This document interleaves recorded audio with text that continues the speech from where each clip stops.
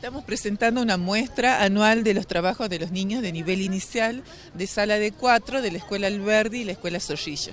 Hay que hacer mucho trabajo para los chicos y mejorar el desarrollo cognitivo de los alumnos. Mejorando la calidad educativa, trabajamos con la ludoteca, la biblioteca del nivel inicial, este, también hicieron eh, actividades de laboratorio.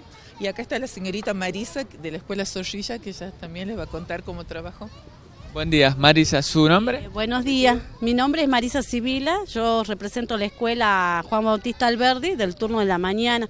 Este, bueno, yo quería comentarles un poquito de lo que se trabajó. En realidad nosotros trabajamos en talleres con los papás y los niños, haciendo trabajos artísticos, eh, manualidades, eh, realizamos títeres, este, trabajos... Este, mm, con distintos materiales reciclables, ¿no? Y después lo que enfocamos más es el tema de los juegos tradicionales, los juegos de antes y los de ahora. La importancia, ¿no? Porque es como que los juegos se fueron este, perdiendo un poco, ¿no? Hay que volver para que los chicos se desarrollen mejor. Un poco más los fueron reemplazados por todo lo que tiene que ver con la tecnología, ¿no? Que son los celulares, bueno, las tablets, espera las tablets, la computadora y bueno, y demás, ¿no? Que tienen que ver con, con esto de la, invasión de la tecnología, ¿no? ¿Y el padre cómo acompaña?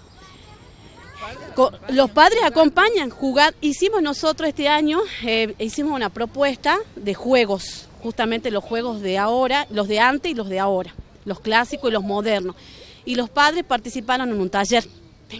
Bueno, veo que los chicos están más ansiosos. Este, entonces trabajamos junto con los papás. Organizamos un taller en el jardín, en el patio, y los padres trajeron juegos del elástico, la piola, la rayuela, digamos todos los juegos que ellos trabajaban, eh, jugaban, digamos, cuando eran niños.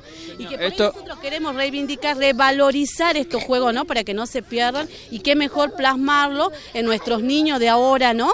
Que ellos también jueguen y, que, y aprender a jugar también, ¿no? y compartir con la familia. Lo que sirve el juego para los chicos y el desarrollo a formar futuras personas. Exactamente, para el desarrollo cognitivo, como bien decían ustedes, para la sociedad, ¿sí?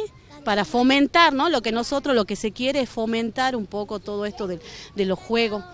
Y qué mejor empezar desde niño.